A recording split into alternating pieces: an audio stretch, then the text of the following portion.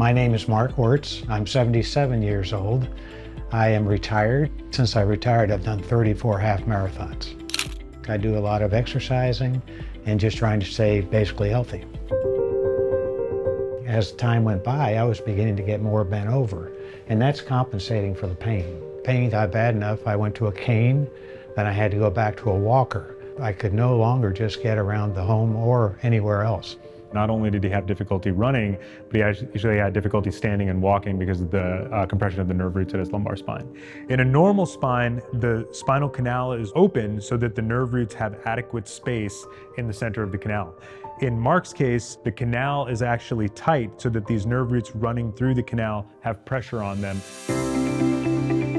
Laminectomy provided an adequate outcome just to open up space around the nerve roots, and we were able to avoid anything more invasive like a fusion. It's a relatively quick recovery and, and very predictable outcome.